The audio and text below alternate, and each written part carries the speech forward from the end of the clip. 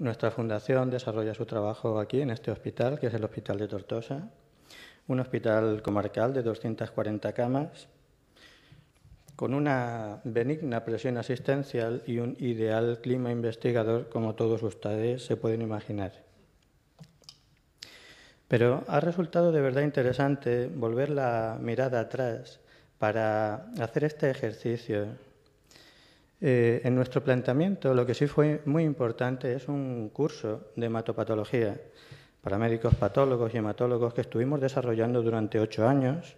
Editábamos unos libros y unos CD-ROMs y una página web que todavía sigue en activo, a pesar de que está abandonada desde hace varios años, pero que, según me cuentan, utilizan todavía eh, pues muchos residentes, tanto aquí en España como en Latinoamérica especialmente. Es importante ese curso porque nos abrió la puerta a una buena cantidad de conocidos y de colaboraciones, tanto en la provincia de Tarragona, donde nosotros colaboramos con otros centros, como en el resto de Cataluña, como en el resto de España, con, quienes hemos podido eh, eh, desarrollar pues, los proyectos que nosotros nos han permitido hacer eh, y llevar a cabo nuestra modesta línea de investigación. Y también en el planteamiento yo creo que hay tres cuestiones de tipo fundamental. Una de ellas se debe al concepto de este patólogo, Pichinger, que es conocido como el padre de la histoquímica, pero que dedicó su vida a estudiar lo que él llamó el tercer sistema, que no vamos a desarrollar ahora. La segunda idea importante es la idea de tumor, no únicamente como células tumorales, sino que el tumor está constituido por las células tumorales y su microambiente tumoral, constituido por su matriz extracelular, las células del estroma y la respuesta inmune. Esto, que es una obviedad, a veces viene bien recordarlo. Y la tercera cosa es, nosotros ya teníamos eh, alguna experiencia en el estudio de respuesta inmune en patología oncológica y con todo ello pues nos marcamos el objetivo pues de estudiar la respuesta inmune en síndromes linfoproliferativos, que era lo que nosotros eh, estábamos más familiarizados. Y bueno, alguien podría decir, ¿respuesta inmune en síndromes linfoproliferativos? ¿Por qué? Bueno, ahora las cosas han cambiado un poco, pero hace pocos años eh, todo el mundo estaba muy concentrado en el estudio de las células tumorales. En segundo lugar, eh, ¿para qué? Pues Intuíamos, sabíamos también, había ya algunos indicios de que este era un ámbito fisiopatológico muy significativo en la etiología, en el pronóstico y en el tratamiento de estos tumores. ¿Y cómo hicimos nosotros para poder eh, llevar a cabo nuestro trabajo? Pues como les cuento, utilizar las colaboraciones que habíamos obtenido a través del curso, utilizar una técnica que está al alcance de cualquier hoy día, como es la técnica inmunistoquímica, a la que nosotros añadimos pues, un valor en forma de una cuantificación automatizada, para lo cual desarrollamos un software específico que nos ha permitido trabajar con un poco de, mm, mm, eh, añadiendo eh, algo de eh, valor a las cuantificaciones que se habían venido haciendo hasta la fecha. Hemos utilizado la metodología de los tissue arrays y hemos explotado bases de datos de grupos cooperativos. Esto ha sido el método y estos son nuestros resultados de los que les voy a hablar eh, muy concretamente de lo que hemos hecho en estos últimos dos o tres años y especialmente eh, aquellos trabajos que hemos desarrollado o bien exclusivamente o bien eh, de forma mayoritaria en nuestro hospital y concretamente en nuestro servicio de anatomía patológica.